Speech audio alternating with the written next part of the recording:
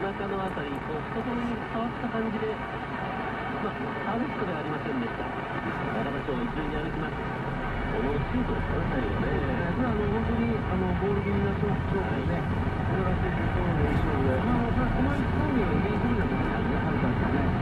これがゴーですよね、